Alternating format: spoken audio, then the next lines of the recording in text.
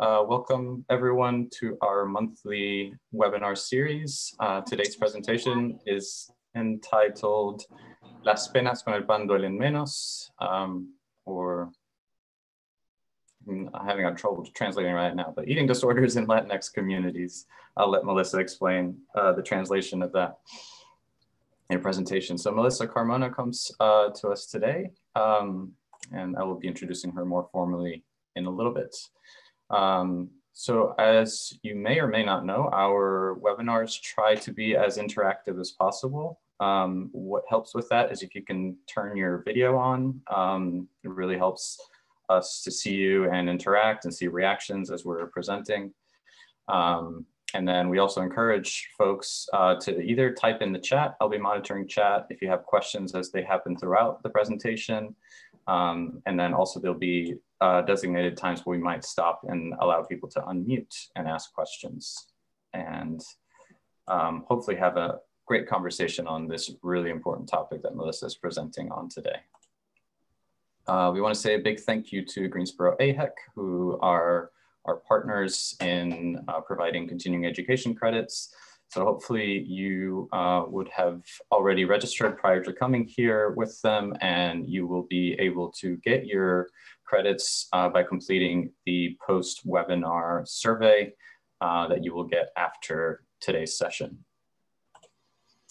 Um, wanted to float this by you all. So we had um, scheduled this prolonged exposure training, which is an evidence-based therapy for treatment of um, PTSD uh, with its originator, originator Edna Foa. Um, we had, uh, I think it was set up for March of this year or April of this year. And then, as you know, that was uh, time that COVID broke out. So we have now moved it to a virtual session that will be taking place um, April 9th through the 11th. Um, we know it's full days on Zoom, um, but uh, Dr. Foa has assured us that she's done this virtually before, plenty of breaks, and it's really great to um, have this training um, straight from the person that created it. Um, we will reopen our registration in January, um, so um, stay tuned on our network, and uh, we have been able to expand attendance, I think, from 35 to 50. So there's quite a few slots still left open. So just keep an eye out for that. Uh, and a big thank you for the Duke University Health System who have whose funding has made it possible for us to host uh, Dr. Edna Foa. I think the price is 175, which compared to the 1600 that folks typically have to pay for this kind of training is um, pretty good. So um, just look out for that. So I want to introduce our speaker today, um, Melissa Carmona. She is a bilingual clinical mental health counselor at Three Birds Counseling in Greensboro, North Carolina. She works um, from a trauma-informed social justice, uh, health at every size, and intuitive eating perspective, and she'll be presenting uh, on a lot of that today. Um, she attended the University of North Carolina at Greensboro, where she graduated with a Bachelor of Science in Psychology and a Master of Science in Clinical and Mental Health that's where I first met Melissa. We were working in Dr. Gabriela Stein's uh, lab. She is an undergrad, me as a graduate student. Uh, we've driven out to Asheboro and other uh, towns in North Carolina to conduct tons of family interviews for the research that Dr. Stein did. So it's just so cool to link back up again in, in this manner. Feels like yesterday. I know. And like a million years ago at the same time because of COVID. yes, yes. Um, so currently, um, Melissa is an EMDR trained therapist. Uh, she's worked with people of all ages and families uh, in both private and community settings, and we're just so honored to have her here with us. Um, so Melissa, I will now unshare and have you share, and we'll start off with some polls to give us an idea of who's in the room with us today. Thank you. Let's see. And just want to make sure you clicked that button. It should have been clicked from before. you can just unshare. Totally right. Totally right. Thank you so much for the reminder. Um, no worries. I always forget. About it. I joke a lot about technology stuff because you would think that after having to switch all online, um, hold on, my brain can't think and speak at the same time, that I've gotten really good at Zoom It's not the case. It is not the case. All right. So if you can go to the next slide, Melissa, um, that'll give folks a guide about where you fall in this poll. You could please click on whatever applies to you.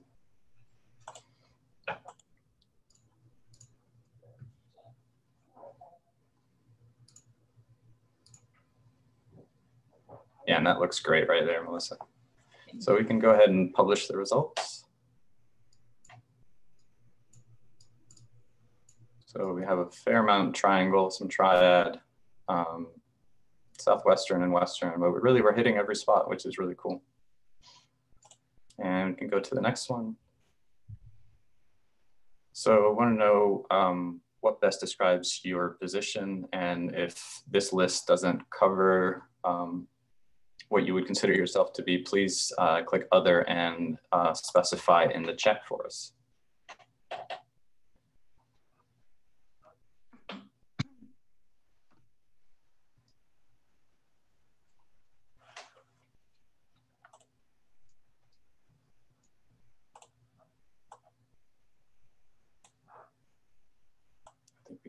Can publish.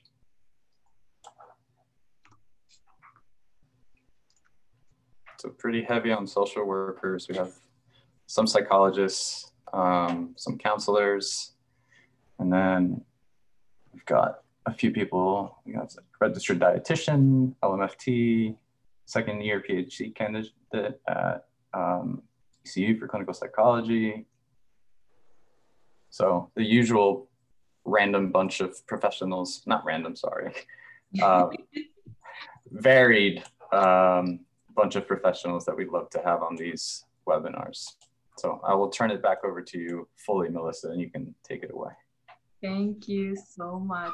Um, so many things going on in my in front of me, so I'm trying to organize everything really quick. But I'm very excited to be here. Thank you so much for having me.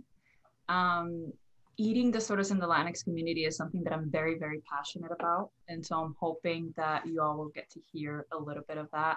Uh, and now that I think about it, I have a cockatiel in the room. So at some point you may hear him. I didn't think about taking him out. So at some point, hopefully he won't make an introduction. His name is Pepe. Um, but yeah, I'm so glad to be here. Thank you so much for having me. Um, there were so many different things that I wanted to talk about today. There was just so many different routes that you can go when it comes to eating disorders and specifically in the Latinx community. And so I kind of want to give people a heads up. This is going to be barely scratching the surface, unfortunately. So already encouraging people to make sure you take it beyond what I might have to offer today too. Um, I'm going to be speaking from a clinical perspective, but also from a personal perspective. And, and the, all of that being said, this is only um, my experience as a counselor, my experience as a whole other human being. And so, again, another reason to make sure you kind of go beyond what I may have to offer today. So, again, who am I? Mi nombre es Melissa. My pronouns are she, her, hers. Once again, I'm a counselor at Three Birds Counseling and Clinical Supervision here in Greensboro, North Carolina. I am EMDR trained, intuitive eating and health at every size counselor who also works through a social justice lens.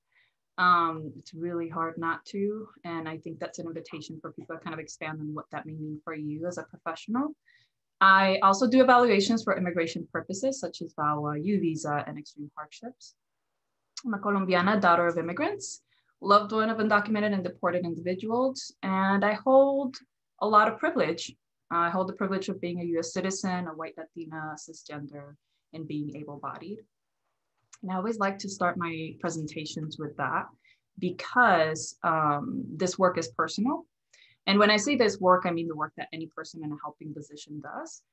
There are all sorts of things in your life that influence you to, in some way that led you to the career you have today. And so we have to make sure we acknowledge them because the ways that you offer services to your patients or clients is in some way influenced by what is happening, what has happened in your life. And the privilege we hold could in some way be having an effect on treatment you might be offering. And that's probably going to be a theme that you also notice during today's webinar.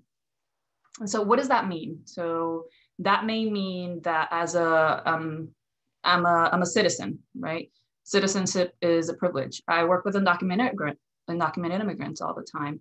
Am I offering resources that they can even access? Um, realistically speaking, right? I am able bodied. Am I um, proposing a treatment plan that I don't even know what it looks like in my client's everyday life?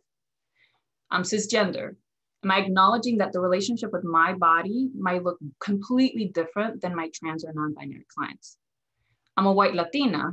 Do I realize the, the ways in which my own body image healing may look completely different from an Afro Latinx or Black Latinx person, especially when addressing colorism, racism, overall anti-Blackness? And um, my goal today is that you're able to learn more about eating disorders in the Latinx communities, but also to take it a little bit further than what numbers may offer you. I think that a lot of times we do get caught up on the numbers behind research, definitely the number on the scale, definitely on the labels, uh, the numbers that labels may offer you. And so this is also an invitation for you to kind of take things a little bit further than that. Um, and so we'll, we'll start it with that.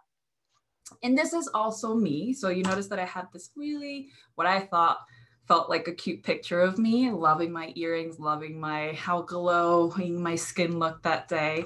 Um, but I think it's extremely important for me to also show other pictures about myself. One, because I don't like to take myself too seriously, and two, because I believe that as professionals, sometimes we forget we have our own stuff too. Um, as professionals, we're commonly asked for pictures of ourselves, maybe for webinars like these, maybe for articles. Um, for our websites, for other events. And even we become so used to only seeing ourselves through a certain angle, a certain lighting, a position, a specific parts of our body. And so another invitation to assess in what ways do you model this for your clients as well how does this come into let's say for me the counseling room your appointments with your clients because your body as a whole comes into the room and shares that space with your client so it's very very important for you to kind of acknowledge what that looks like too. Um, countertransference and transference is a very real thing with our clients. And when it comes to eating disorders, it's definitely something that will come up.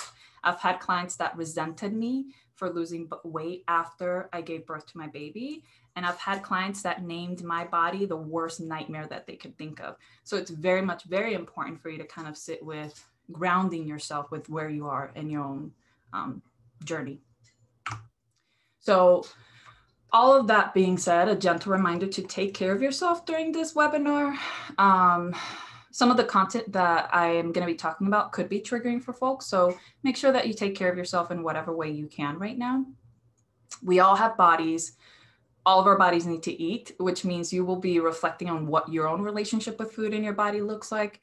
And throughout the webinar, I'm also going to be bringing up some of these self reflection moments through throughout and um, it's going to be an invitation for you to kind of look within in terms of where you are but these could also be prompts that you use within your your sessions with your clients these are questions that you could easily use with your clients to kind of explore where they may be when it comes to their body and the relationship with food so kind of jumping into just a short roadmap, we're going to start out with a very, very, very short review of what eating disorders and feeding disorders are per the DSM 5. Um, then we're going to jump into eating disorders in the Latinx community, such as prevalence, risk factors, cultural consideration, and body image ideals. Then we're going to move forward to talking about beyond food and weight talk and addressing marginalization. And then we're going to end it with culturally sensitive and inclusive treatment. So I'll talk a little bit about HAES, a little bit about intuitive eating, social justice, and cultural humility. humility. So let's go ahead and jump in. So I won't be going into detail when it comes to the diagnosis themselves because uh, really if you're interested in learning about the criteria for diagnosis, that's information that you can directly get from the DSM-5. Um, and there's lots and lots of information online too um, when it comes to diagnoses, but I do want to offer a little bit more of an overview before we dive in.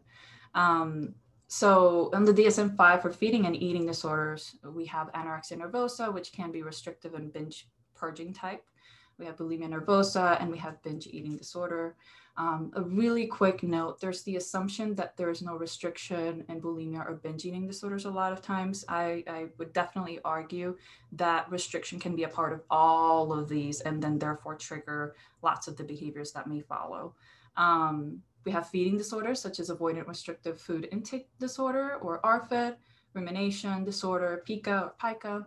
Um, and then we have other specified feeding and eating disorders and unspecified feeding and eating disorders, as well as two other ones that we are frequently talking about that are not in the DSM-5, which are orthorexia and diabulimia. It's very important for me to highlight OSFED because it's one of the most commonly diagnosed um, eating disorders for folks. And OSFED is an umbrella term for folks that don't necessarily meet full criteria for other eating disorders.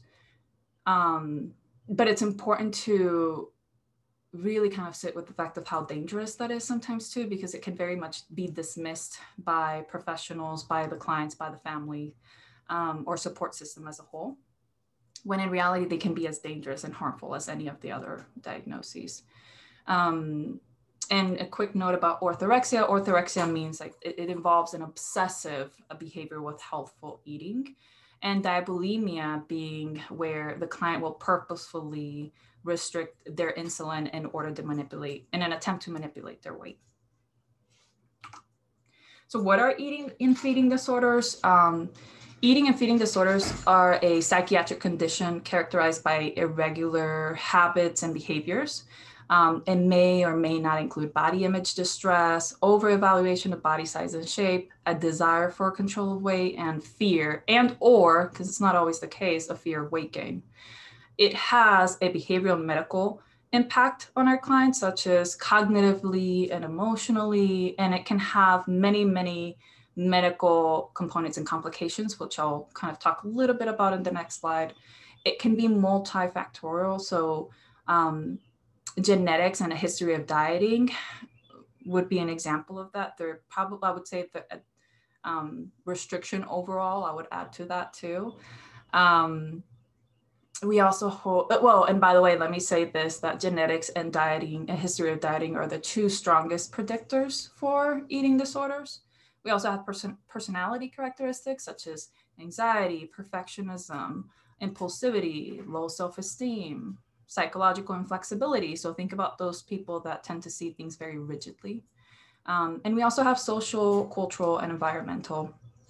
So things like such as um, trauma uh, weight stigma and fat phobia, limited social support, appearances and aesthetics, um, environments in which appearances and aesthetics are very much like, um, very much a part of the culture. And eating disorders can often co-occur with other psychiatric disorders such as um, obsessive compulsive disorders, trauma, um, substance misuse, and personality concerns. And so I wanted to go over some of the health consequences because I, I do believe that um, for many reasons we tend to kind of skip over them when in reality there's a reason why eating disorders are so incredibly dangerous. And it goes beyond the, oh, I just want to lose weight. Oh, I'm just like, I have low self esteem stuff. It, it, it has an impact on our health.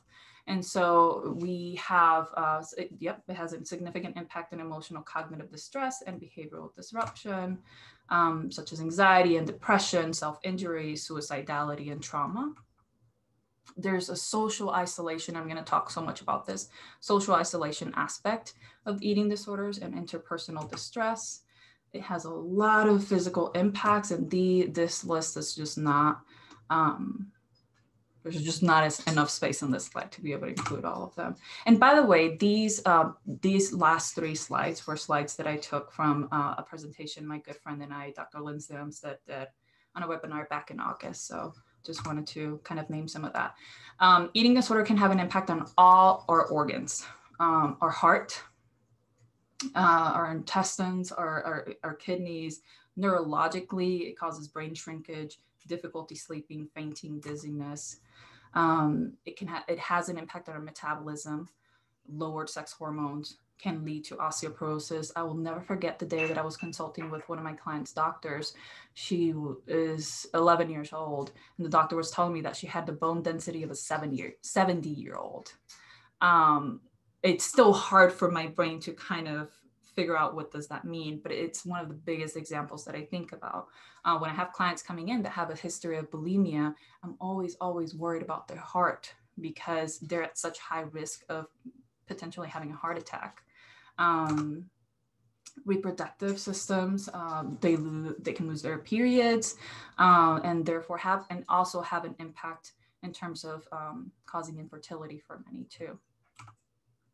There's hair loss, there's dry skin, there's hair growth in other parts of our body because our body is trying to figure out how to keep the body warm um, because of feeling cold all the time. There's anemia, dental problems, um, and low white blood cell count due to malnutrition and become immunocompromised, which is one of the biggest reasons why when COVID started, we had to just completely switch everything online because our clients would be considered high risk. Um, uh, they're life threatening and can be fatal. Anorexia nervosa being one of the highest mortality rates following opiate addiction. Um, so there's that uh, I wanted to kind of share a, a, couple of the myths that I frequently hear when it comes to eating disorders, which include eating disorders only affect young, white, thin, cis women. That's not true. Everybody can struggle with an eating disorder. Marginalized communities are frequently left out of research. Um, so think about the erasure even in that. Marginalized communities experience more stigma around eating disorders and mental illness altogether marginalized communities are less likely to be diagnosed with an eating disorder and have access to care. Um, and I'm looking at the chat, by the way, too. Thank you so much. I, I, I love being able to read what people are, are saying. Age 11 is so young. Will you be talking about how an 11 year old can develop an eating disorder? Um, I think I will throughout the presentation because we'll be talking about like beauty image ideals and how those are built over time too. And um, and i think that that in and of itself can be a specific thing but i do want to address that like i think that stereotypically we, well when i have these types of conversations with people a lot of people think that the younger folks are the ones that are only developing eating disorders but i would say it's across all ages um, Another Melissa, myth. Yeah. Sorry, I'll I'll just mention I'll monitor the chat for you just so Great. we because we can get derailed into just answering a, a, number of questions. I think if you find natural pausing points, we can pause and maybe address some of the questions that are piling up. But I'm encouraging people to type them in and then oh, we'll okay. address them. Thank you. Okay. Um, you can tell another myth is you can tell who's struggling with which eating disorder. That's a big myth. That's a big myth. Fat people can struggle with anorexia nervosa that's one of the biggest things that I hear. The assumption that fat people, and by the way, I use the word fat as a neutral descriptor. Um, some people feel very comfortable using the word fat, some don't, and I'm mindful of where people may be with that. But no, uh, fat people can struggle with anorexia nervosa too.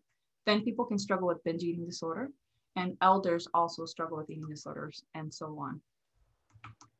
Eating disorders are only about vanity. No, body image concerns can be part of some eating disorders, not all of them.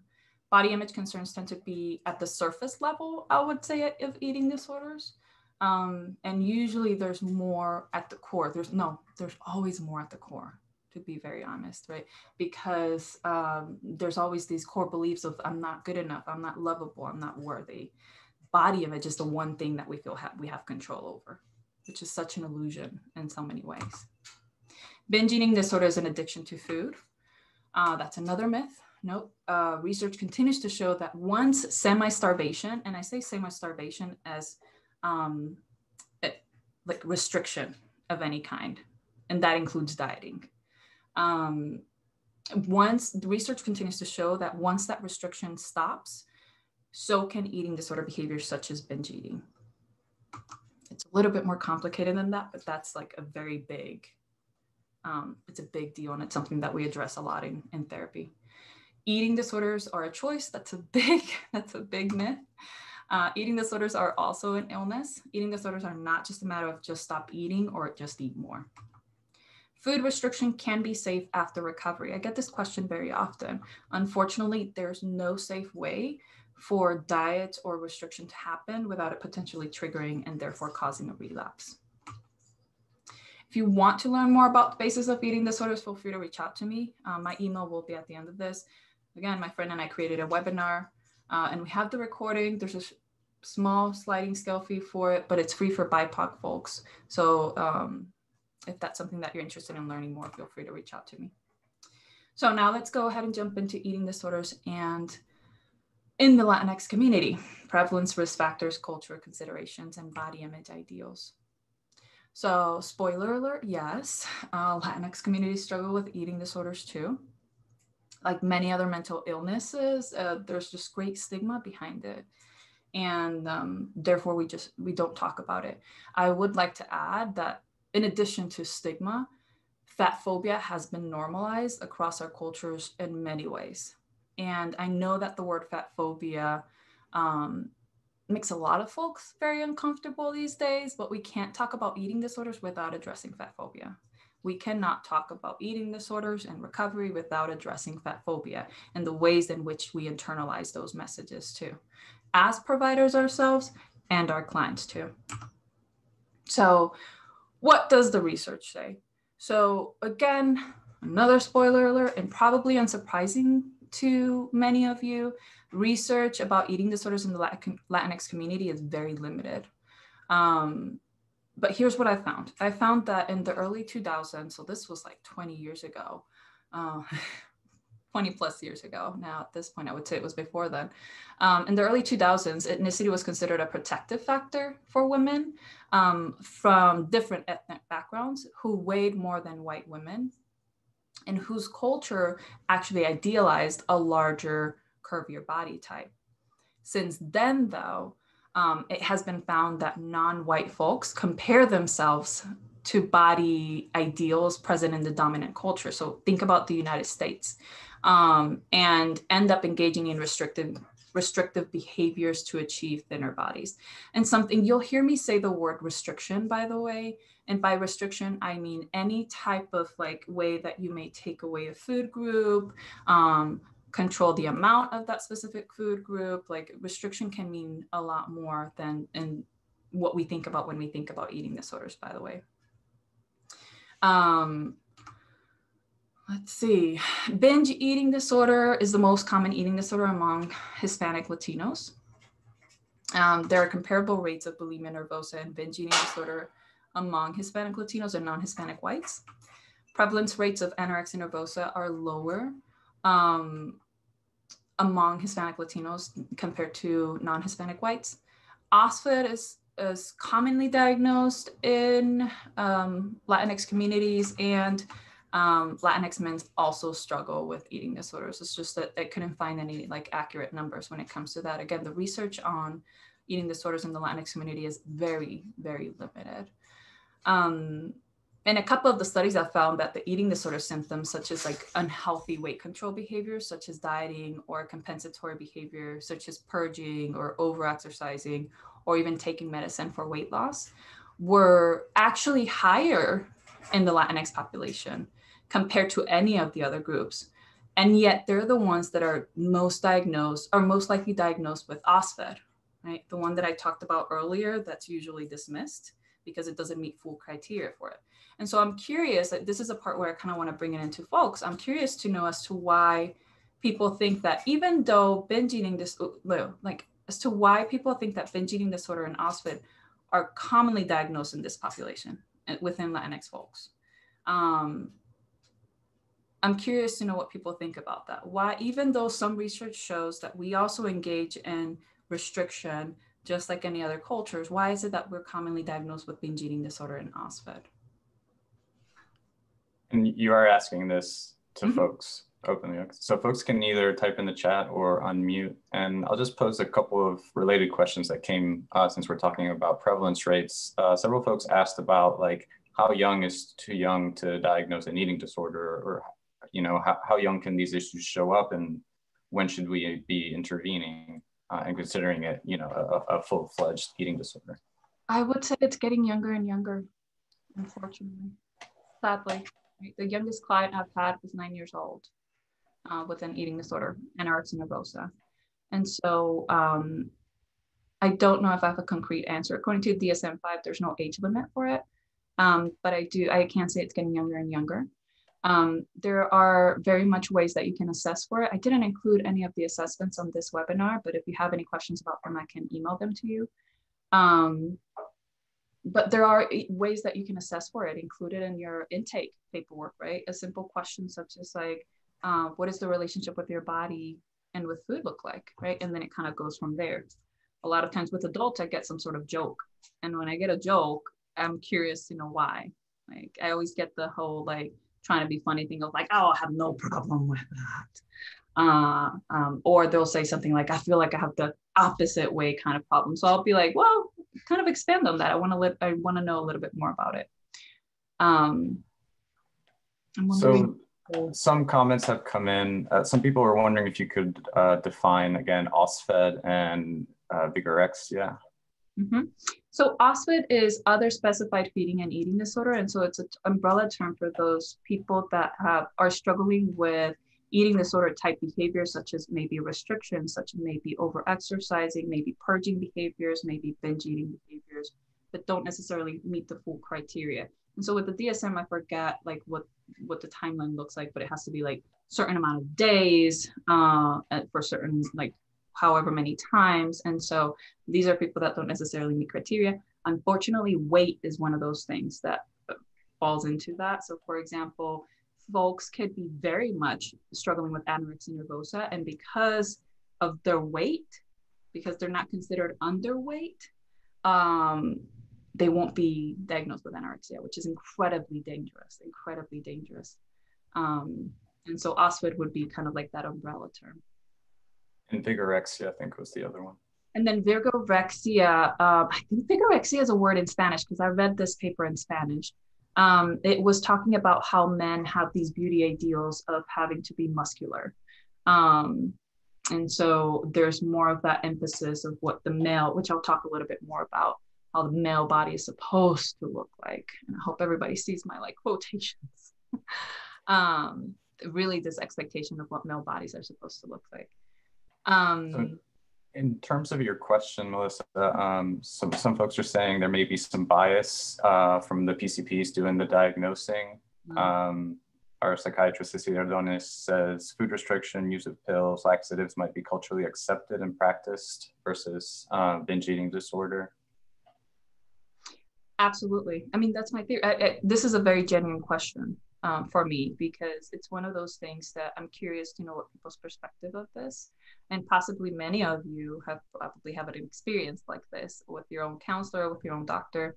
Um, one of the things that comes to mind for me is absolutely that the fact that the dsm-5 and other medical models in the united states always don't always address cultural factors um, that are important to consider when addressing topics like these.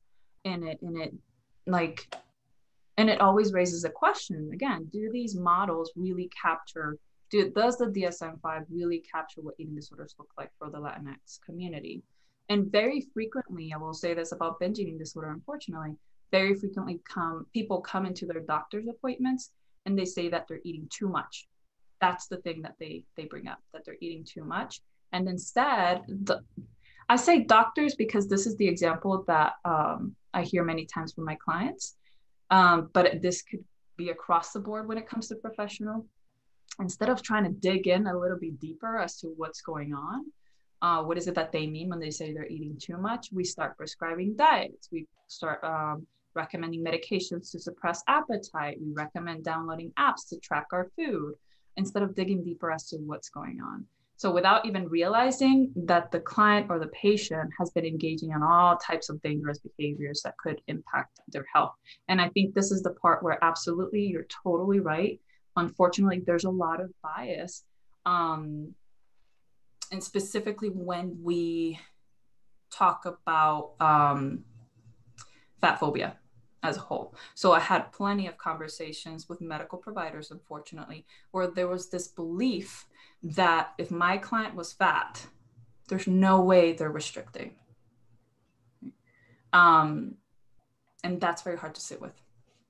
So let me. Kind of- I think yeah, just uh, you can keep going after this, but I just wanted to bring a few points from folks. Um, folks are saying that there's maybe some focus on the BMI or the numbers of it without mm-hmm. focusing maybe as much on the dysfunction that's being caused by uh, the restrictions. Um, and there's also bias about people being fat or overweight, restricting that being seen as a good thing. Um, and then really just bias, like you're saying, I think fat phobia that um, overweight's uh, folks' problems are dismissed more readily than others. 100%. 100%. Right. I hear stories over and over and over again of the time they went into the doctor's office because they had a cold and they were recommended weight loss, of the time when they had uh, an injury to a knee and they were recommended to lose weight. Consulted once again, they had broken their knee or something like that. Like they had other problems that would have been addressed very differently if the client came in and was thin. And so that's something that I want people to sit with. And I can only imagine, unfortunately, those are the kind of stories that I hear the most too. So I can only imagine many of you have had experiences like this, where you come into the doctor's office um, or somewhere else and the focus is on the numbers. Right? So these messages that are reinforced in so many different ways from very young age of hyper focusing on the number, on something external, something outside of our body that's not able to give us any other information. And so that's something that I want folks to kind of sit with too. Um, I'm going to jump into cultural values in the Latinx community because I think this is very important when it comes to recovery and um, helping Latinx folks. Um, only a couple of them, but these are my favorite to talk about.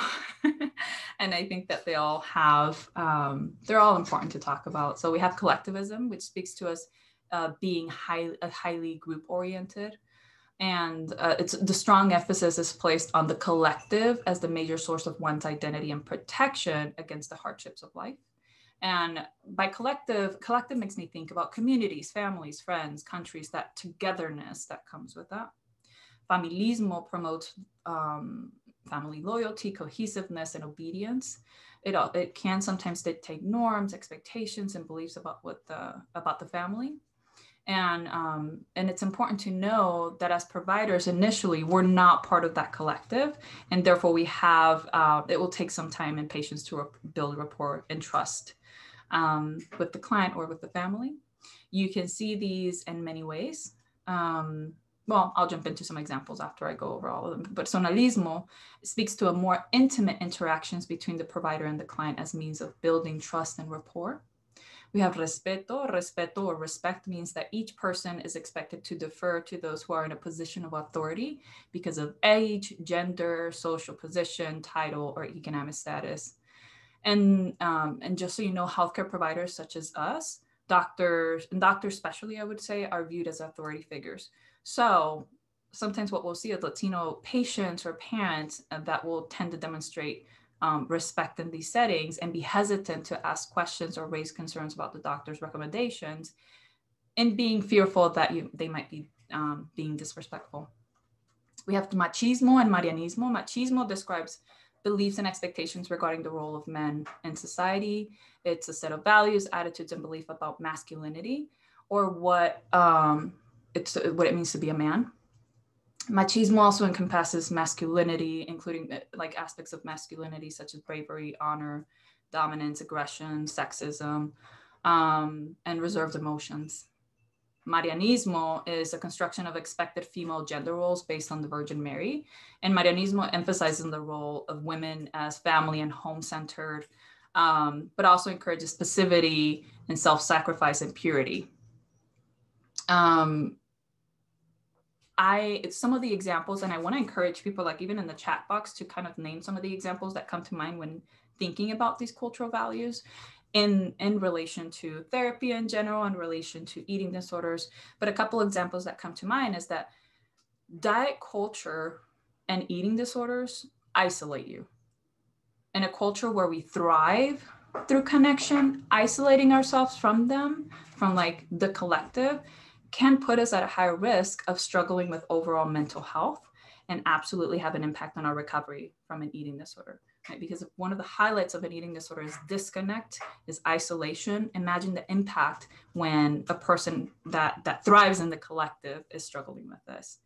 Um, you will see families. Another example is that maybe you'll see families coming into appointments together. So this would be an example of uh, familismo, maybe even personalismo making healthcare decisions together, if there's a need to be, if there needs to be a referral to a dietitian or to go to a higher level of care, the family would probably want to make the decision together and maybe consulting with extended family and trying to see what they think. With personalismo, you may, may uh, the client may want to ask for your personal opinion on what they should do, not necessarily professional, but then there's that other side of respecting the position of power that you hold to and what your recommendations may be. Um, and thinking about disconnect again um, like the more we disconnect from our bodies also because eating disorders create that disconnect between our, ourselves and our body the more we disconnect from the people around us and therefore disconnect from our culture as a whole too by the way so another thing to think about is with how important food is in our culture rejecting food from family members can seen can be seen as disrespect right? So um, i'm thinking about several instances in which maybe our clients are trying to work on respecting their hunger and fullness cues and you have family members all of a sudden saying all these things to you which can be um, kind of overwhelming and you try your very best to not be uh, irrespetuoso um, and another thing to kind of keep in mind is like um, for some, an attempt to change their body can be considered disrespectful towards their ancestors too. Um, and thinking about Marianismo and machismo, we have like the belief that a woman's responsibility is to look beautiful for their husbands, and the assumption that if their husbands end up leaving them or cheating on them, it must be the woman's fault too, because they didn't keep up some sort of like image. Um, and with men, the same thing. What does it mean to look macho? right? That that also has an element in terms of like body image. Um, so now, and I want to make and I want to make sure I emphasize this. I'm not saying that the any of these beliefs are or values are good or bad, um, but it is important for you to address and what way does it relate to what your client is experiencing through the through the eating disorder and what healing could look like for them too. Okay. Okay. And so this is going to be a moment, I think it's going to be an opportunity for me to see what people are answering, but also time for self-reflection. And again, these questions are something that I want you, to, I want to invite you to think about for yourself because these are things that could come into the counseling room or your appointment with, with your clients. Um, but these are also questions and ways that you can assess for what may be going on um, with your clients in terms of their own relationship with their bodies and with food. So one of the question is, what did you uh, what did your relationship with your body look like growing up? Right. So this is a question that you could ask your clients. I know that someone earlier had asked, like, how do you find out? How do you learn more about that? Um, and I think that this is a valid question. This is a way that this is a very open-ended question. Anything could. I, I love open-ended questions. This is why sometimes I don't necessarily hyper focus on the assessments themselves because I think assessments can miss a lot of different things. Um, so I think this it opens up the conversation for a lot more to come out. Uh, in what ways has your culture influenced this in your life? Again, how do we make sure we broach topics such as like our culture? How do we broach the topic of race too, which I'll talk more about later on. Um, let me see. I'm not sure, Juan, if you have any of the comments that you wanted to read. Yeah, I think uh, folks, uh, several questions I think have come up. I'm trying to summarize and appreciate everyone's engagement. And um, I apologize if I'm not getting to everyone's. We'll hopefully have some time at the end um, where you can unmute and bring your questions back up. Um, but folks, I guess, are asking questions about like, how do you make an assessment for these things and differentiate between like bad habits um, or things that are culturally driven and something that's gotten to the point where it's a disorder and something that needs treatment. Like, at which point do we how do we draw the line? Can you draw a line? I think is kind of the general question i'm getting. I don't think there's a way to draw the line. There's so much nuance when it comes to this type of language. The first word that stood out to me was bad. Um, and and i think it's an invitation for people to assess okay if my client does come in and they're like well how do i get rid of these bad coping mechanism bad behaviors I would want to expand on what is bad. I would want to explore more of that nuance and grayness of what it means to be engaging in these behaviors because I'll be talking about it later. But um, coping mechanisms are coping mechanisms. Um, whether they're good or bad, that's a whole other conversation, and we can very much fall into that binary type of thinking. Um, but I think that this is an ongoing conversation. There's always, always more to learn. So unfortunately, I don't, I don't have a black or white answer. That that's probably a theme that you're going to notice, by the way which is why we explore so much of this in session with clients too. Thank you. I guess, yeah, I guess that's a, a question. Like, I think for me and something that I talk to clients is like, I don't really care like what the label or diagnosis you have is i always try to focus on like is this impeding your ability to live life the way you want to? Yep mm-hmm. but i wonder if you can can that lens be applied to eating disorders? Absolutely absolutely. Um like i would want to know in what way is it impacting their everyday life right? So if we think about these um values. So if collectivism is something that's really important in our, within our culture and familismo, the value of family is important. In what ways is it isolating you? This type of behavior. In what ways is it isolating you from your loved ones? Um, and I'll give some more concrete examples later on too. But I think that's a very great way to put it. Like, in, like take it a little bit further than the good or bad type of behaviors. In what ways is it impacting your your everyday life? In what ways are you experiencing shame and guilt every day? Because that's not that's not healthy either um, I'm looking at time and my brain is like freaking out. so I Don't might, I might like, I might take a little bit longer to take questions, or I might come back to them at the end. Yeah, that's fine. We can just say to the time. end. That's my thing. My brain falls into these spaces of like I could go on with just one of these slides for a whole hour and a half. Um, so let's look at some of the risk factors for eating disorders in the Latinx community. And by the way, I am I'm I'm reading um, the comments. I will be reading the the chat messages. I think that I I love seeing people's responses. Um, because I also I learn from everybody else. Everybody else has their own story and experiences, and everybody um, knows their body best. And and just I will be reading the chats. I'm not ignoring them, by the way.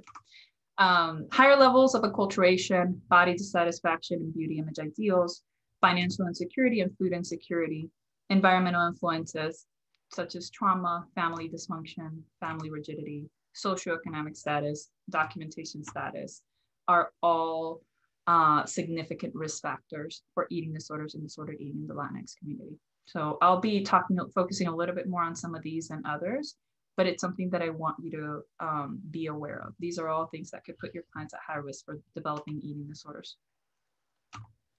Um, acculturation was the biggest one. Acculturation was one that I could find more studies on. And by the way, the sources are going to be at the end of the of the slides. I'm sorry I didn't include it for all of them in here.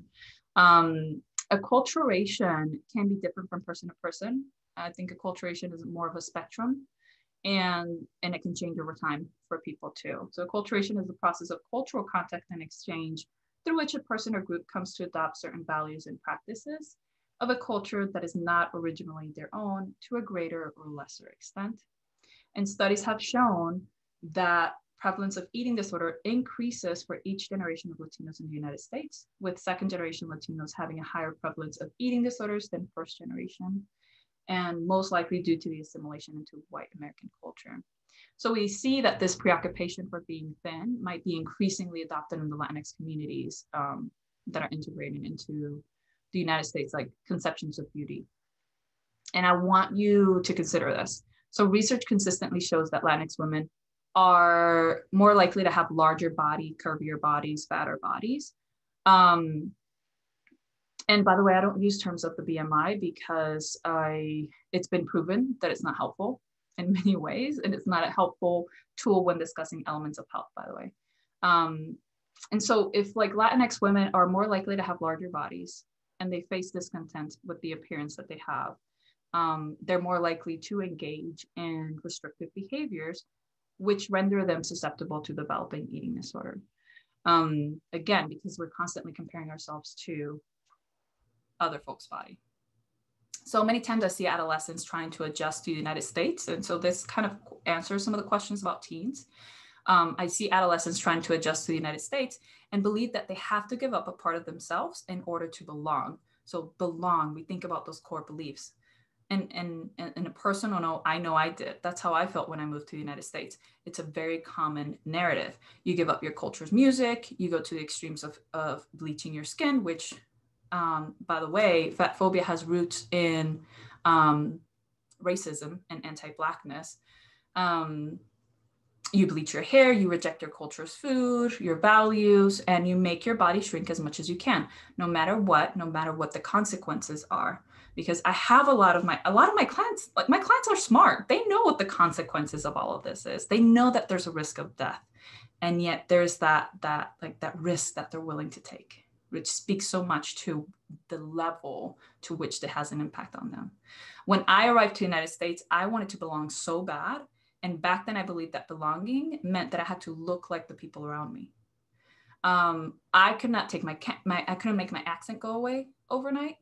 I couldn't change my olive skin tone, but you know what I could do? I could try to shrink myself. And that's what I did. Only it took me 10 years to realize that I had an eating disorder myself and know and i had to figure that out on my own when i was in school and learned about eating disorders because none of my doctors none of my therapists or family members noticed my symptoms. They only congratulated me for losing weight. So they, be aware of what you're congratulating when you're comment without even knowing. I've had clients that come into my office and tell me people were congratulating them for their weight loss and they had cancer or they had or another one told me it took them years to realize they had diabetes. So be aware in what way are you reinforcing a message? This is a very common narrative and we continue to miss it. We continue to miss it as providers too. There's no excuse for us to miss, miss these symptoms. Take for example the phq9 which is the screening tool for for depression one of the questions in there is it talks about appetite. I don't like the wording in it. I can't remember what it is. I think my brain just like kicks it out. I think it's something about overeating or something like that. But it's an opportunity. It's an opportunity for you to ask, what does your relationship with food look like? How's your appetite then? It can start with a question like that and it opens it up to so many more things. So let's talk about beauty image ideals in the Latinx culture. I grew up uh, with a lot of sayings, and I would love to hear what sayings people uh, can remember from their own childhood. Uh, there are a lot of sayings around uh, beauty image ideals, and especially for women. And so I wanted to include some of them, and hence also the, the saying for the title of the webinar.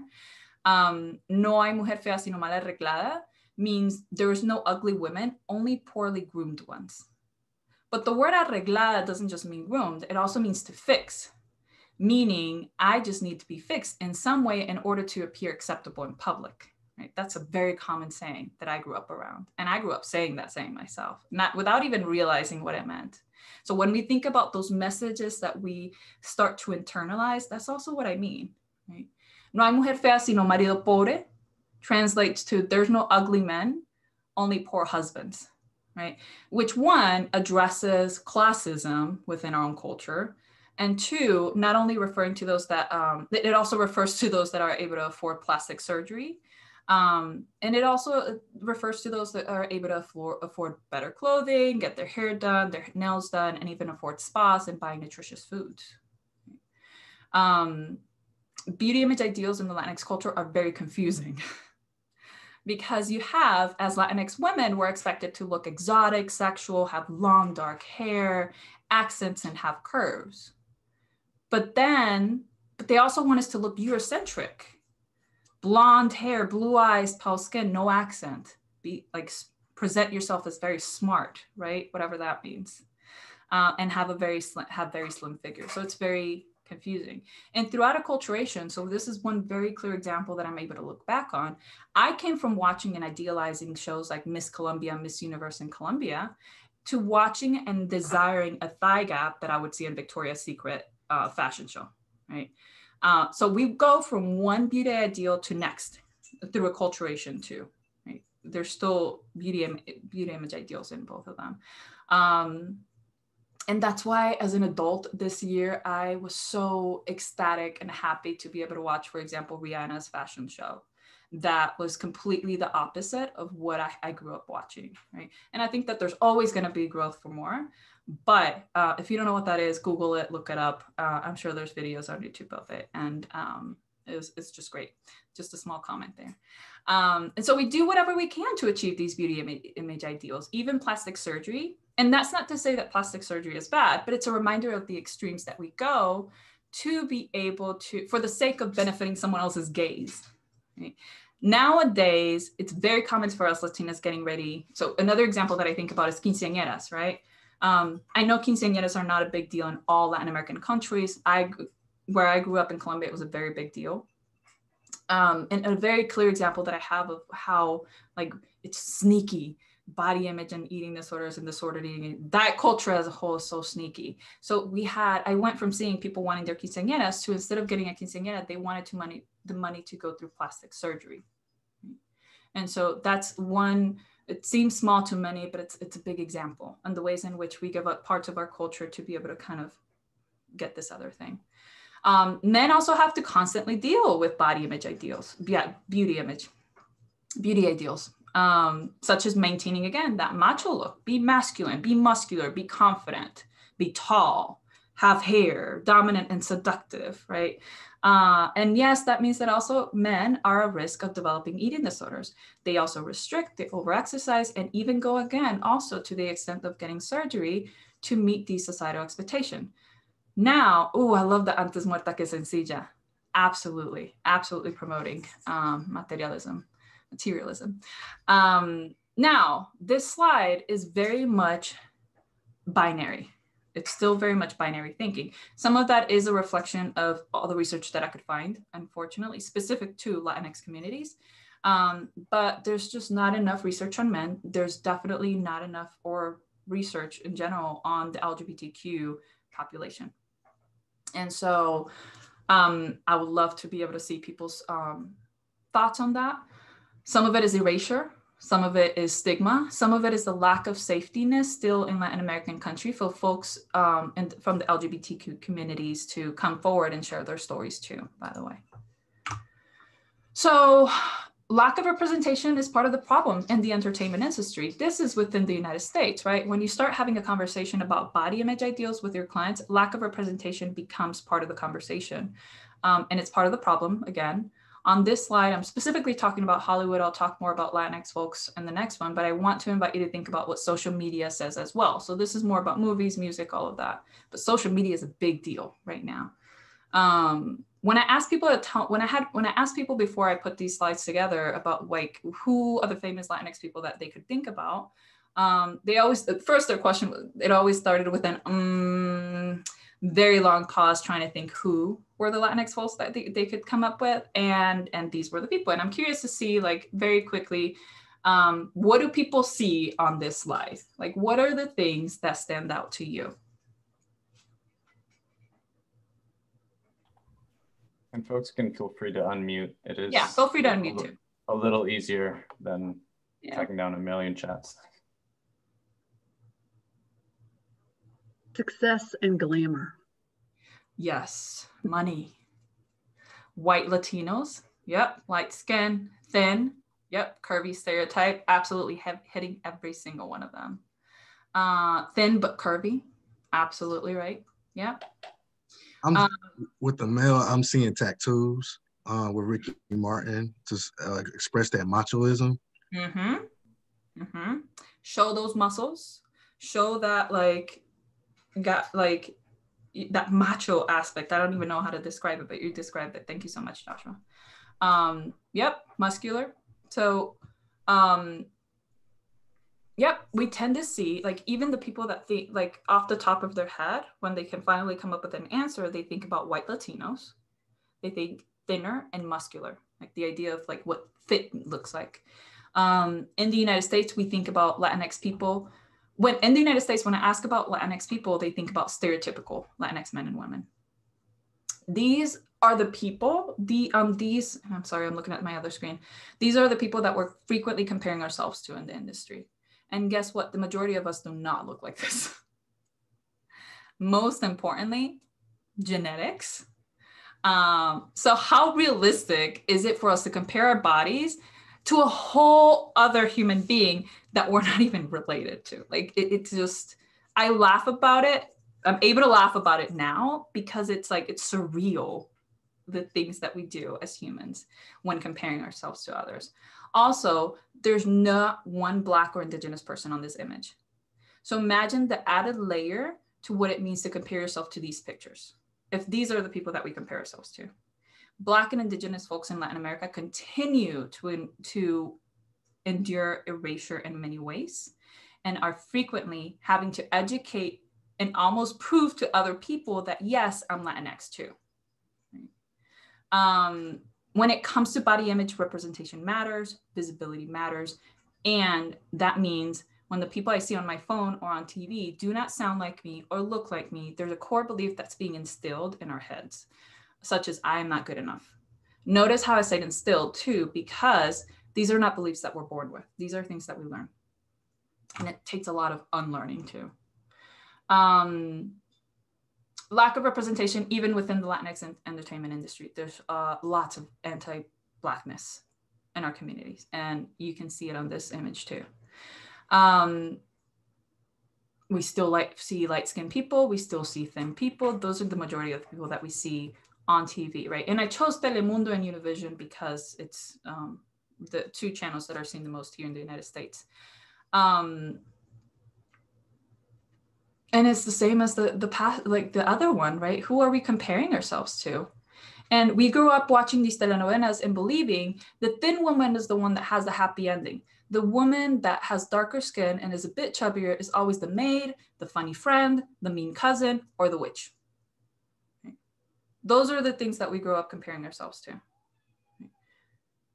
And even though it's like it's always it ends up yeah it always ends up being like the darker skinned person, um, the indigenous person, that ends up having these roles. So what is it that we're learning? Even I was going to say as children, but as adults too, right? Those are the the images that we're comparing ourselves to.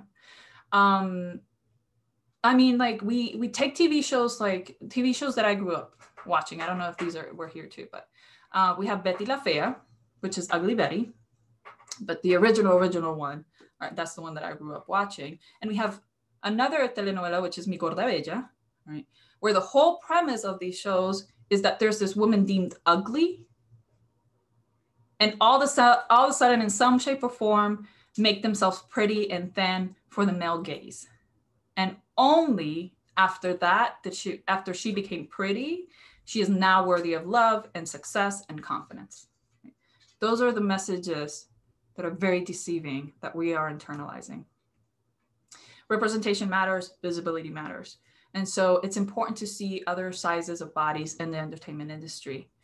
Um, I see that they're trying to change this, but it's simply not enough. It's just, it's not enough.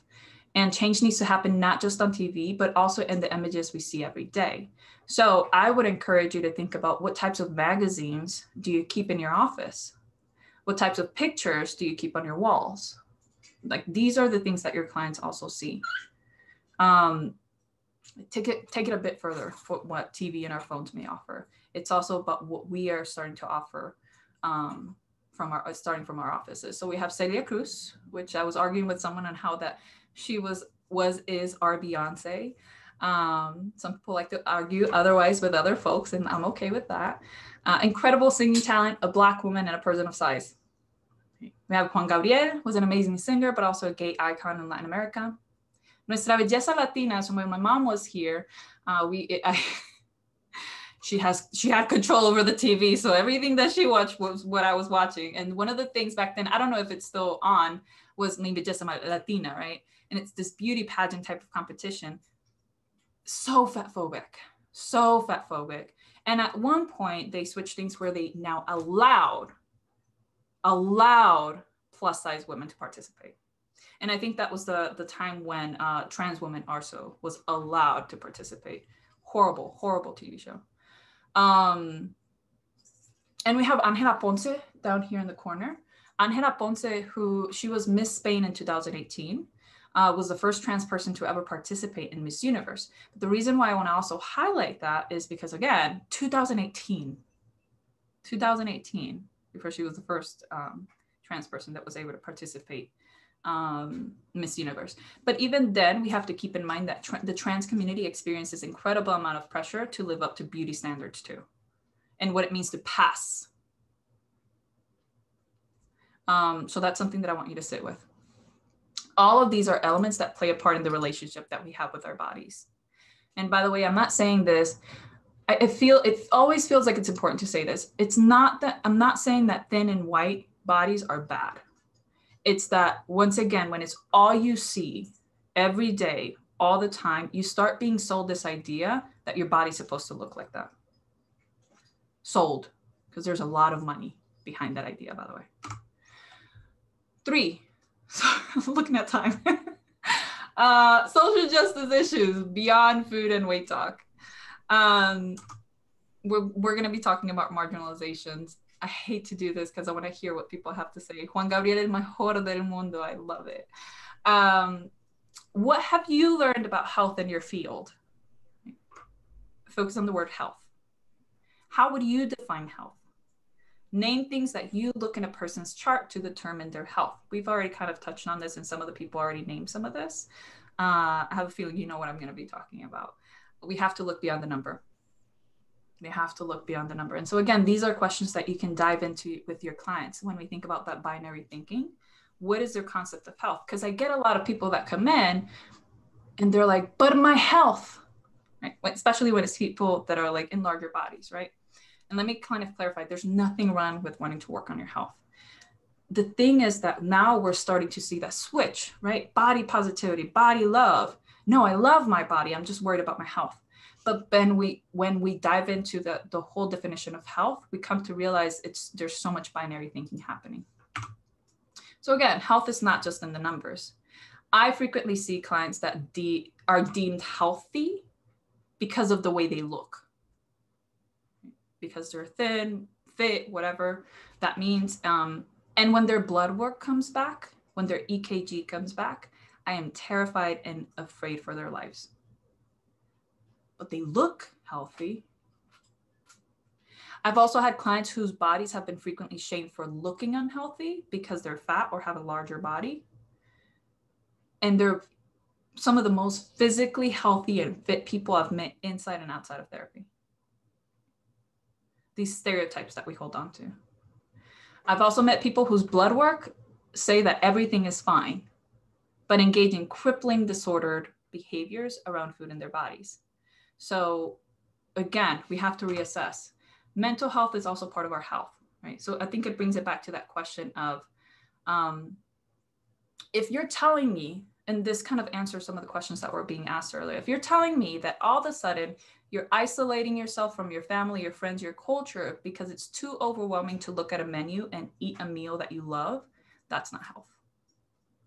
If you're telling me that you can no longer engage in conversations with people because all you can think about is how um, how will you be able to make up for the breakfast you just had, the breakfast you just had? That's not health. If you're telling me that your day starts and ends with feeling guilty and shame uh, for giving yourself permission to feed your body or to rest, that's not health. So, as practitioners, we know that those are, as practitioners and general counselors, doctors, dietitians, we know that factors such as stress, fear, and isolation um, can impact our overall health. So, being bullied, discriminated against, and dehumanized because of the size of your body means that your physical health is also being impacted in some way. Once again, challenge the binary thinking of what healthy and unhealthy means. Uh, because unfortunately, we've taken this word and co opted it in so many different ways. Health is complex, layered, and nuanced. So invite your clients to expand, expand their understanding of what health means in general and for them personally, because each one of them is going to have their own story. Um, it's important to ask questions such as like, does your definition of health include those with chronic illness? Because are those a set of unrealistic expectations that we're also setting for them?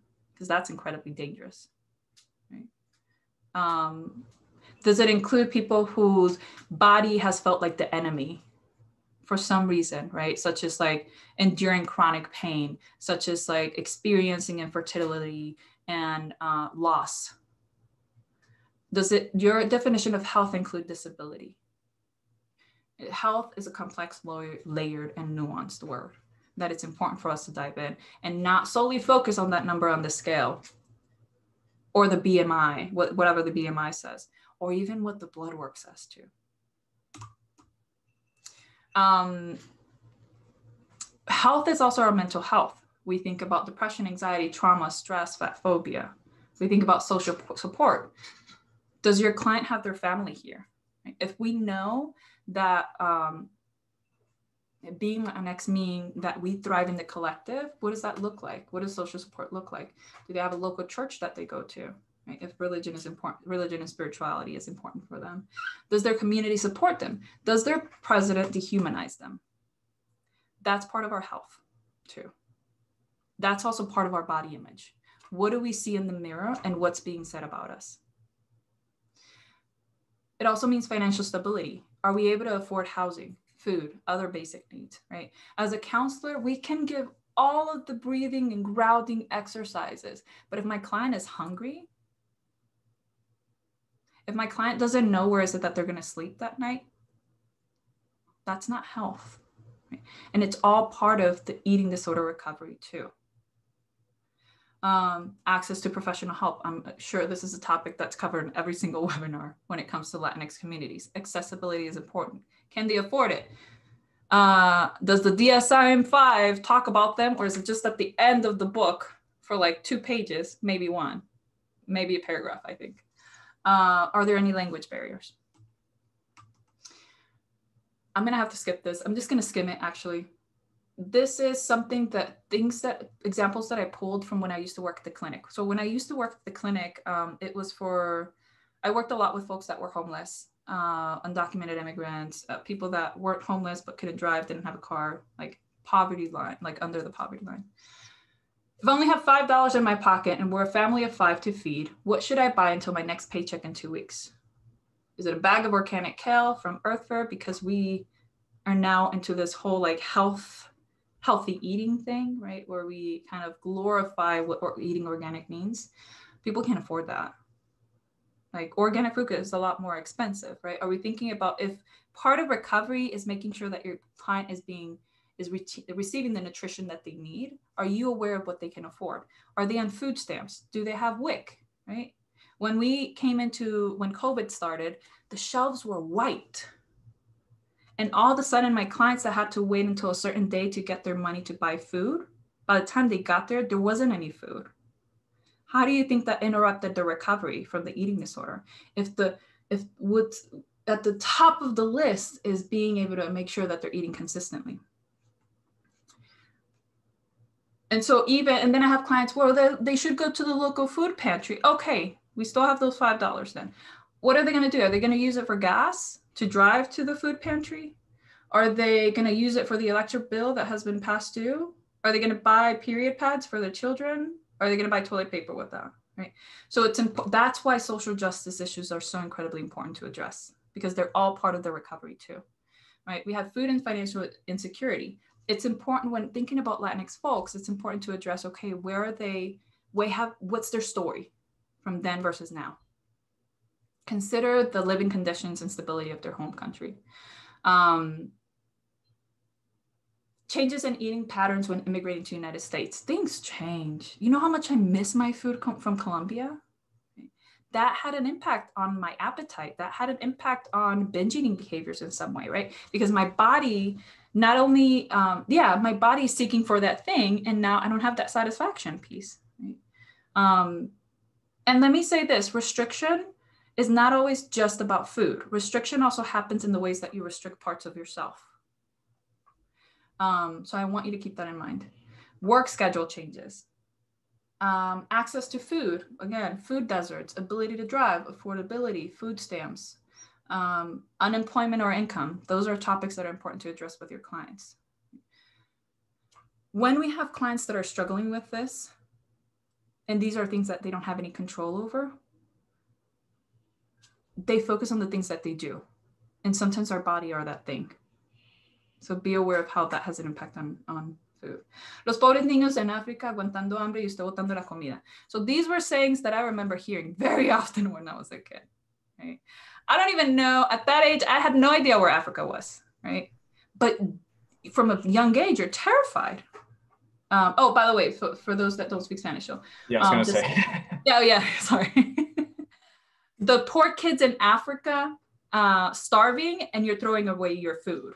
That's what I grew up hearing, right? So like the whole like clean your plate thing, because you just never know when is it that you're not going to have access to food, right? And so you're you're taught from a very young age to almost engage in these um, like shutting down your fullness cues for the sake of you just don't know you never know right so there's that fear that's being instilled around food um, agua molida y viento raspado and this one, it, it translates to ground. When people would ask, what are you going to eat today? And you would answer, agua molida y viento raspado, which translates to groundwater and scraped off wind, right? And it's saying, it refers to not having anything to eat. So it speaks to, again, the element of poverty in the ways that it impacts um, our relationship with food. So again, go beyond the food and weight talk. With bulimia and binge eating disorder being the most common eating disorders among Latinx, providers will commonly prescribe diets and weight loss treatment. This makes us completely dismiss the real reason for the behavior and can sometimes reinforce it.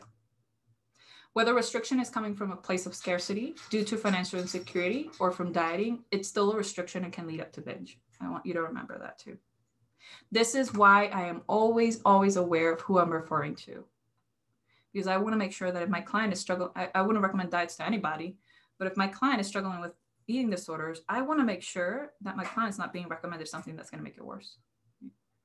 Another self reflection, probably don't have time at this point, but I want you to kind of have it so you can kind of keep it in mind for yourself and for your clients as well. What did your own relationship with food look like? Did your ethnicity, culture, or family values have an impact on this? So the rule of food and the role of food in, in Latin, Latinx culture is food is not just food. Right? Food is not just fuel for us. Food is abundance, hospitality, comfort, traditions, affordability, and emotion. Las penas con el, con el pan duelen menos translates to the sorrows with bread hurt less. Right? And, and so it, it speaks to how the ways in which we engage with food and to, with such a such an emotion. And yep, food is emotional, and I don't think that's a bad thing. I think we're constantly talking about emotional eating and how that's a negative, bad coping mechanism. No, food food is emotional. And I mean this in different ways, right? Food is memories, it's love, and it's care for us too. Yes, food can be used as a coping mechanism. And I don't think that this means it's a bad thing. When it becomes the only coping mechanism, that's when it becomes a disorder for many people.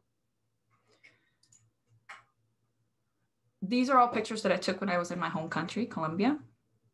I love their food. I hold immense pride in it. And when I ask people, like I, I did this presentation a couple years ago with some of these pictures. Um, and when I asked people before the presentation, what did they saw? What did they see? Oh, panza llena corazón contento. Yes. Um, I've had people that told me they saw big portions, too many carbs, lacks of greens, fried foods, too many meats. But uh, what I see is the fish that my aunt cooks me every single year for my birthday because she knows I love it. I see my grandmother's early morning breakfast. I see two versions of a traditional dish in Colombia. I see memories of what it tastes like to be home. And I see the privilege of what it means to have a meal on my table, too. I also see that I acknowledge the food that my food came from hardworking hands. These are also pictures that I took in Colombia. I see my childhood um, and my mom cooking with whatever she could afford that day. And I see my grandmother cooking in her yard because it tastes better that way. Uh, I see my little, and I see my little one. That's my little one. She was like, she was one there. Uh, I see my little one absorbing our beautiful culture one bite at a time. That's beautiful to me. That is emotional. And so when you live in a country, we bring it back to the United States, right? We think about acculturation. Um, when you live in a country that does not feel, look, or sound or taste like home, and all you want to do is belong, sometimes you consider giving up these parts of yourself to stop feeling like the other. Um, imagine giving up these parts of yourself. What am I left with? A loss of identity, disconnection, from food, from my body, and therefore disconnected from the collective as a whole as well. Las penas con el pan todavía duelen. So the sorrows with bread still hurt, by the way. um, and I put under there, and después, y después la persona que te dio el pan te critica por estar comiendo, right? Because we still have diet culture elements in our Latinx culture. So the translation of the bottom one is like, um, and then the person that gave you the bread criticized you for eating, right? we have a lot of fat phobia and i have a video at the end that i hope people can just access because i don't think we're going to have time for it but it very much talks about those mixed messages that we receive kind of growing up too We can put the link in the chat for folks, Melissa. Oh, great. Thank you. In eating disorders, everything is connected. I know this probably sounds repetitive at this point. Not being thin enough, not healthy enough, not fit enough, not attractive enough, not disciplined enough, not friendly enough, not white enough, not smart enough, not wealthy enough, not fluent enough, not good enough, not just simply not enough. When you ask your clients to just stop eating X, right? Because we're thinking about the most commonly diagnosis for Latinx folks. Have you considered what you're asking them to give up? What part of their culture are you taking away? What resources are you taking away? Because if, if it is a coping mechanism, are you putting any other coping mechanisms in place or are you just taking away the only one that they have? Lots of barriers for people accessing um, care when it comes to eating disorders. Again, I think these are um, things that we we're commonly addressing such as like overall mental health stigma and this idea la ropa sucia se lava en casa. The translation of that is like uh, the dirty clothes is washed at home, as to say like we don't share any of our stuff with other outsiders, right? Therapists, providers are outsiders until you join that collective. Right? Lack of research, documentation status, um, accessibility such as lack of insurance, um, language barrier, not being culturally sensitive, not having culturally sensitive treatment models and providers unchecked biases and privilege. Um, eating disorder recovery is expensive because it requires more than some other ones, right? Um, in order for us to go through eating disorder treatment, you're usually working not only with a, a therapist, you're working with a dietitian, you're working with your primary care physician, um, and sometimes we add, we have to add the psychiatrist, right? Because if there's something that requires medicine, we have to have that extra person. This is expensive, right? So a lot of people don't have access to it. Um, up until last year, I had reached out to three different local facilities. None of them had Spanish speakers, uh, Spanish speaking providers. Where am I supposed to send my Spanish speakers? Right? If they needed a higher level of care many of my clients that are Spanish speakers and needed a higher level of care, we couldn't we couldn't send them anywhere, and we had to kind of keep going with what they could. That meant that the recovery was probably going to take longer. Um, and so that's something to kind of sit with. It's crucial to address cultural considerations, which we talked about today. And it's very important to, once again, address things such as hunger and food insecurity, racism, colorism, and anti Blackness um, or anti-blackness, ageism, sexuality, and gender. These are all things that are part of who we are. This is all part of our body. These are all topics that we have to address, and they're all like when we think about diet culture or fat phobia, these are all things that are at the root of all of them. I'm not going to have enough time to talk about health at every size. There's plenty, of plenty of research uh, information. Place to go, I would say, size diversity and health.org. Um, there's a lot of misinformation and myths about health at every size. And it's very important. Thank you so much, uh, Juan. Uh, it's so important that you do like your actual research. Uh, health at every size talks about weight inclusivity, health enhancement, and ways that you can do it while it still addresses social justice issues, respectful care, no matter what the scale says, by the way, because whether you live in a fat body or in a thin body, you deserve respectful and care that you can access life enhancing movement, and eating for well being. Then we have intuitive eating. That could be a whole other presentation. Intuitive eating is one of those that um, can be complex because I don't think everybody's in the space to do intuitive eating, especially if you're recovering from an eating disorder. Um, so be mindful of that. And so, for example, with eating disorder recovery, sometimes some folks, the initial part of recovery may be very mechanical eating, scheduling meals, um, eat, and people might not have hunger or fullness cues, by the way.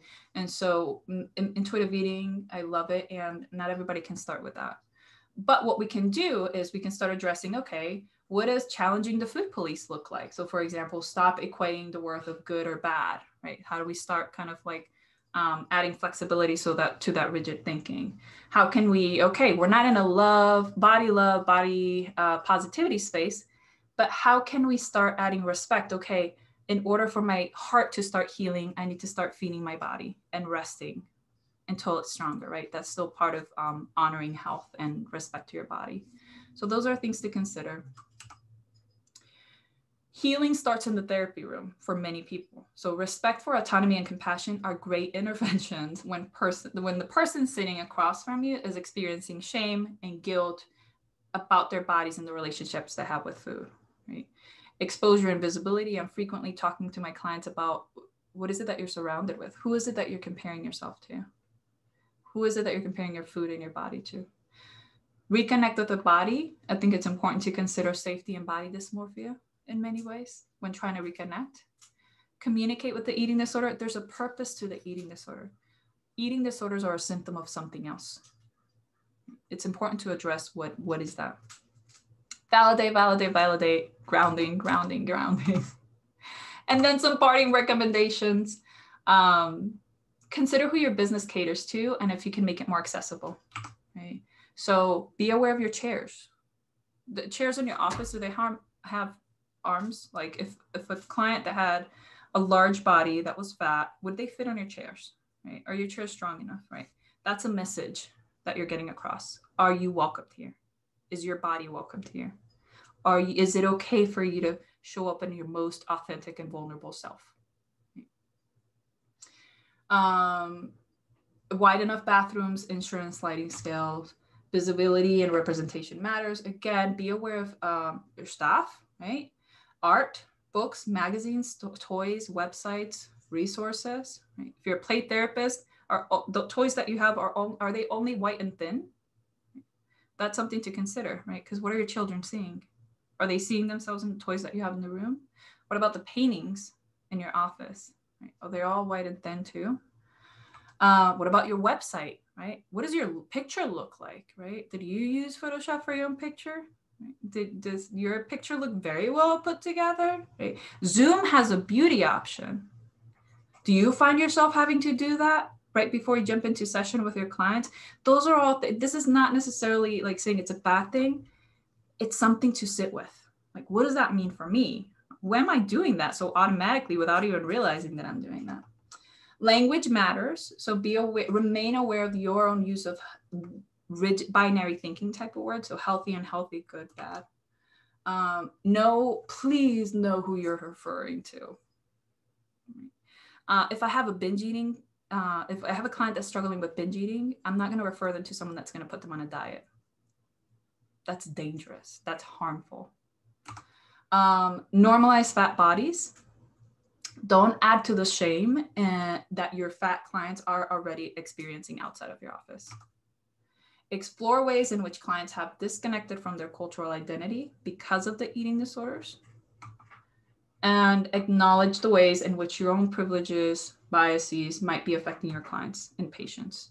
So make sure you're addressing your own internalized fat phobia. Um, there's these are some resources, and with this I'm done, um, that I want you to make sure you have access to.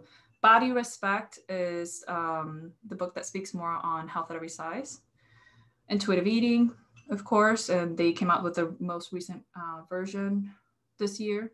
Treating Black women with eating disorders, I think is an incredibly important book for people to be reading right now if you're interested in working on eating disorders and if you're not too. Uh, Sick Enough is specifically about eating disorders and it kind of goes into detail uh, with each one of them. Binge eating disorder, the journey to recovery addresses trauma too. Unfortunately, the all these top ones are not well, and Fearing the Black Body, by the way, is an incredibly important book for everybody to be reading, eating disorders or not. It speaks on how uh, fat phobia is rooted in racism and the history of it. Um, and so then we have websites such as like Size Diversity and Health, Margona Positivity Pride, Mindful Eating Mexico has great, great, great resources in Spanish. Um, and then Latinx Health Collective is a course that a, a, dear friend of mine, Carolina Guízar, who's a dietitian, created. We created a course for Latinx folks on intuitive eating and body image healing, specifically again for in, in thinking about cultural considerations. And that's the video, but you'll be able to watch it. It's pretty cheap. Um, and that's it. Did I make it? One minute to spare. 1129 amazing yes. well done melissa um, no, but thank you so much, Melissa. Um, and thank you all for the comments and for engaging. Uh, I think that the chat was often clairvoyant. They were saying things in there and then you would present on them. It was kind of funny, like the, the quinceañera and plastic surgery thing uh, and several others. Um, so thank you all so much. Melissa, if I can have you unshare, and Melissa, I don't know if you have to run to something else, um, but I know that maybe some folks, if we could stick around, maybe some folks can ask a few final questions. Um, are you are you able to stay for a little bit? I'm able to stay. Okay, so yeah, if folks have the time, we'd love for you to, to stay and, and voice some questions. Um, but we'll just do some wrap up real quick. Let me pull up my presentation. So again, a reminder, if you liked what you saw today, uh, you can join us uh, on the network at La Mesita. It's la dash, if I can type it in, mesita.mn.co. Um, it's a provider network that we've created and that's where we keep folks up to date uh, on everything that we're doing in La Mesita. Uh, but also it's a great place to connect and um, to reduce isolation from providers around the uh, state doing this work with Latinx folks. Um, so if you join, you might see an announcement about our next webinar. Again, uh, mark your calendars for January 22nd um, from 10 to 11.30. So they're typically on every fourth Friday uh, or the fourth Friday of each month uh, at this time.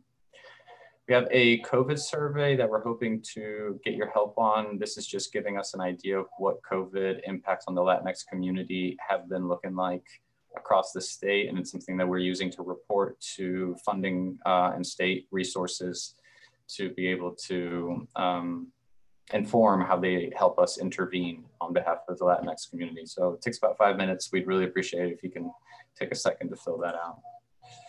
Um, again, like I mentioned, there is our La Mesita um, link. So please join us. You just create a bio real quick and put a picture on there say a little bit about yourself, and then you're plugged into, I think we have almost close to 900, maybe we're over 900 providers across the state who are part of our network. Um, so we're growing.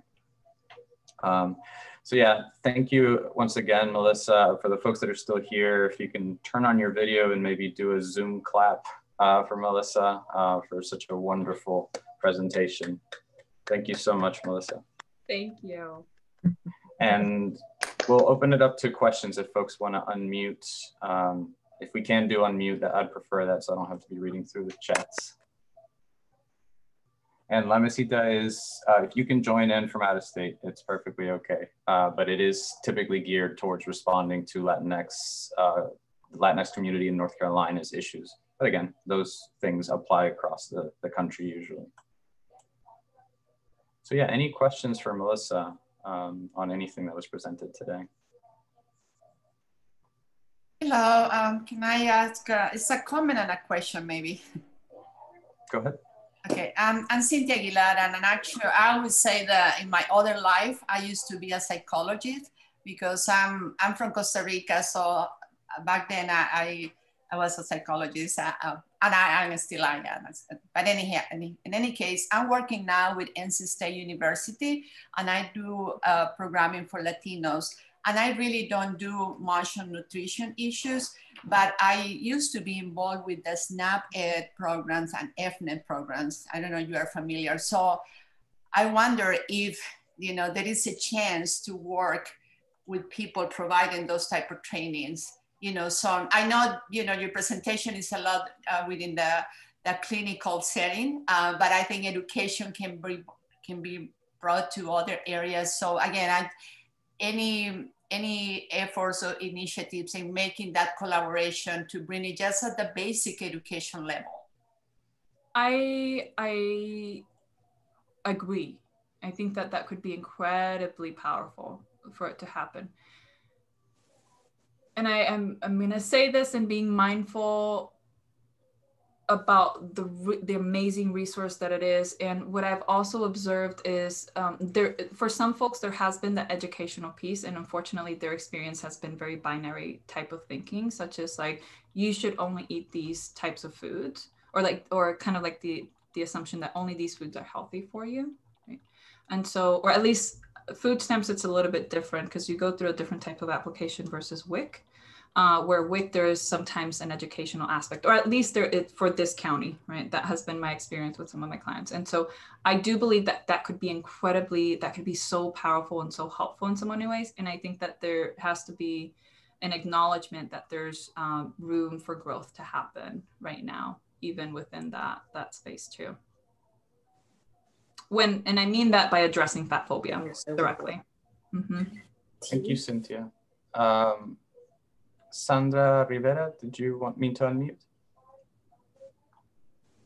okay um, we have a question here, uh, and this is, uh, I think, a really great question from uh, Diana Mena. How do you help people navigating mixed messages from family? One minute, estás gorda, or you're, you're fat. The other minute, you're uh, flaca. Um, both can be said as an insult or praise.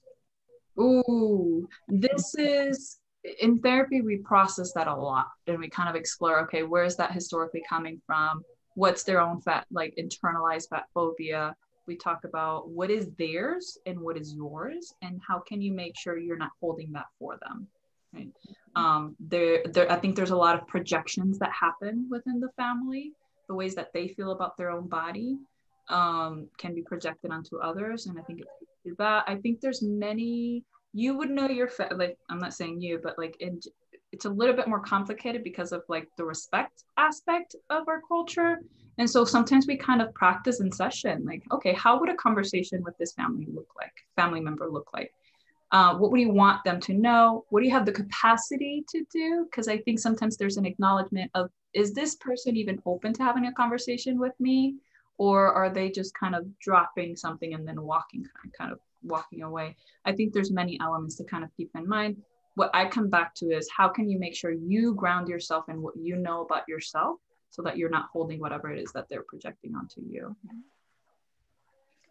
Melissa, I have a question. Um, I work a lot with uh, Latino women and youth and the, the way of identity and managing and navigating both. And for example, uh, we use gordita, flaquita as um, uh, how you say cariñoso, as a very kind way to refer to our family members.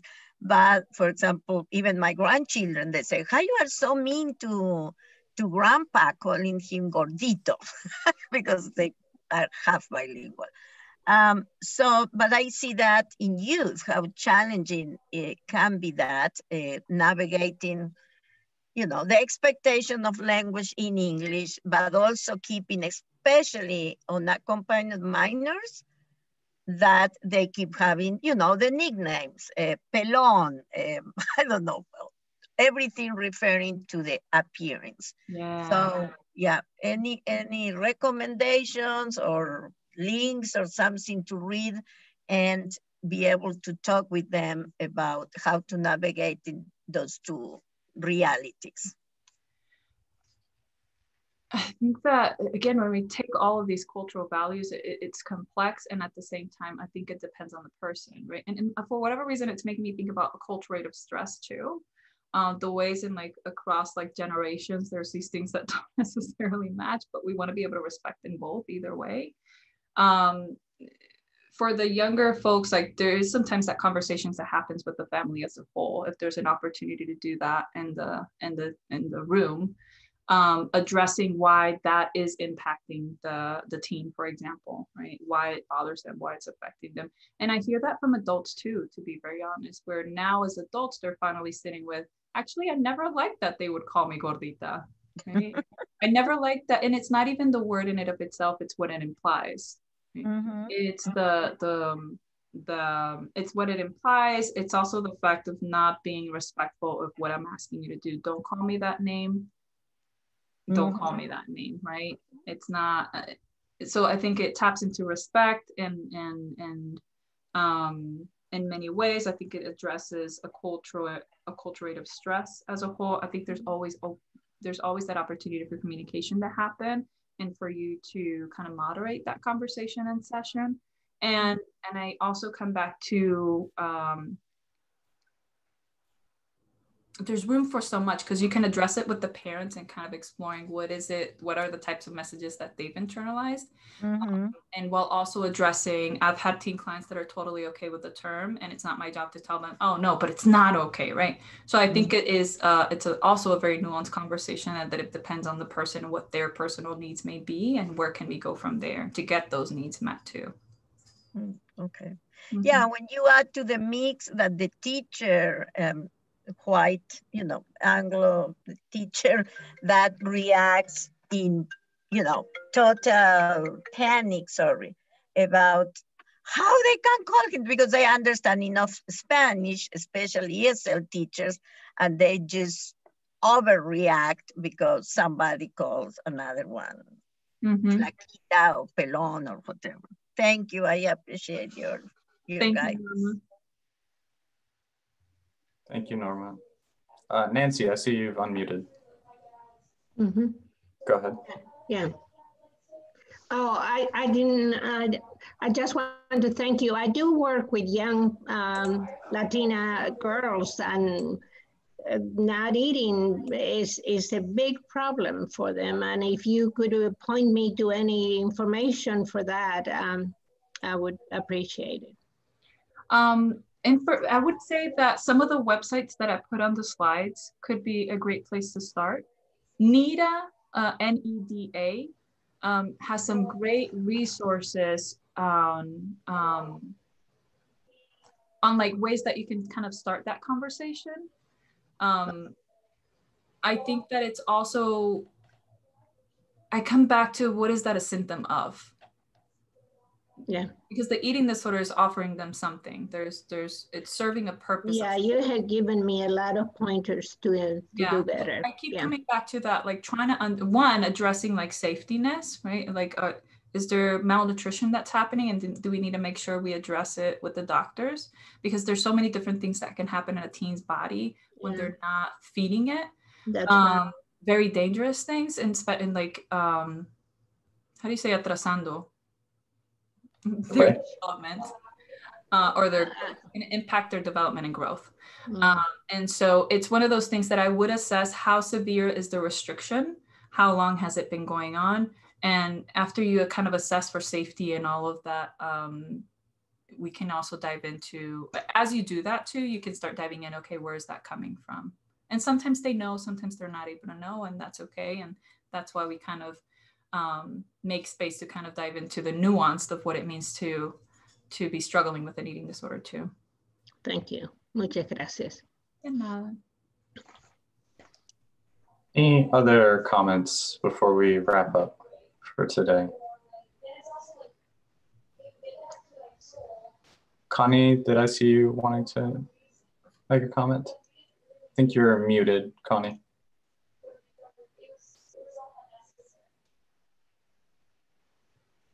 Sophia, could you help them unmute?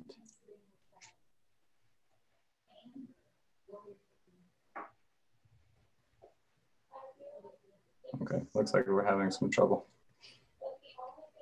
I just said thank you. Oh, okay. well, I appreciate it. Thank All right. Well, I think we'll we'll write we'll wrap it up there. Uh, thank you again, Melissa, for such a wonderful, uh, important, and thoughtful uh, presentation on such an important topic. Um, I think you can see from the activity on the chat and the discussions we had, people really appreciated um, having your expertise, um, and I think your vulnerability too. You know, I think this we, we really appreciated. We always say our our uh, presentations are interactive, but I think folks can really really had a chance to connect with you today by your presentation style. So really I'm appreciate glad. it. I'm glad. Thank you so much for having me. Thank you so much, everybody, for um, being so engaged too. I love some of the sayings that some people included here.